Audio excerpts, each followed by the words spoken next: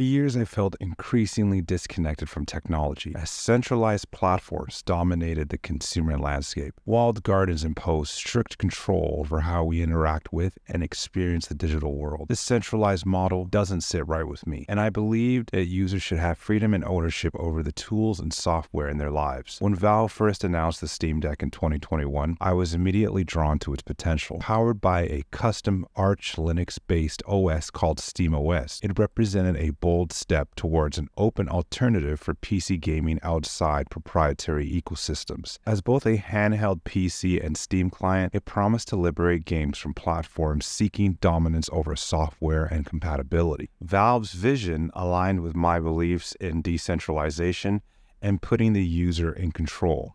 Their work on Proton, which brought thousands of Windows games to Linux, was a technical triumph, advancing the open cause. It was clear they saw PCs not as locked appliances, but tools for empowerment without limits imposed by others. When my deck arrived, I was blown away by its polish and performance and continue to be so.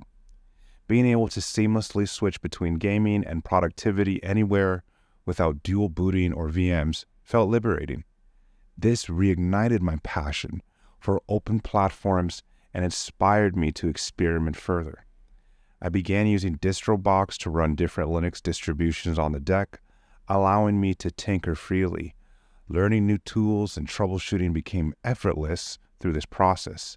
As my Linux skills grew through continued deck use and DistroBox tinkering, I decided to pursue the LPIC 1 certification to formalize my learning. Having a dedicated open platform to experiment with freely in my personal time has been invaluable. Deck proved the perfect portable study device. I could review material anywhere inspiration struck, feeling truly liberated to learn at my own pace without the walls erected by others.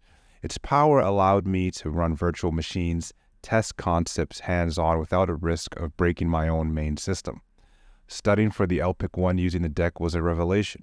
Concepts I initially found daunting, like package management, kernel updates, and system architecture, became clear through real world troubleshooting in my VMs. Being able to seamlessly switch between gaming and certification prep streamlined my workflow immensely. Valve's vision for the deck as an open, hackable PC inspired me to push my technical skills further. Their work advancing Proton and Steam OS emboldened my belief that users should control the tools in their lives. Preparing for the LPIC 1 on the deck felt like an act of empowerment liberating myself through open platforms. I never imagined myself seriously studying Linux, yet here I was immersed in technical documentation thanks to a device proving open source's gaming potential. The deck reignited my passion for customizable, user focused systems and motivated me to pursue new opportunities in the field. With the LPIC 1, I hope to land work administering or developing for Linux environments aligned with my beliefs in open computing. While I still support Windows professionally as many businesses remain dependent on it, I've always felt uneasy about Microsoft's practices. When I started in IT, working with their products was simply a means to an end. I knew open standards better aligned with my values long term. Over the years, the warning signs have only increased regarding their approach. Just last month, my manager sent around an article about Microsoft forcing Bing integration into Windows searches via new update. As someone with an interest in AI, I don't feel it is right to force a particular service onto users without choice or transparency. This latest move reinforced why open platforms will always be superior in my mind. On Linux, I retain control over what runs without disruption from any single entity, prioritizing profits over user empowerment and privacy. Linux has long fascinated me as a student of technology, though opportunities to deep dive were limited.